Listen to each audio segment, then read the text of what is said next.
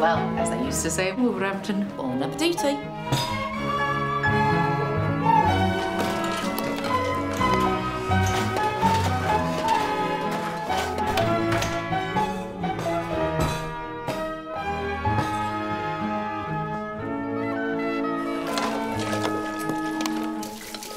Hold on. That was absolutely delicious, darling. Nigel, help Joan with the dishes. I've got a book to finish for school. No buts, Nigel. Give Joan a hand.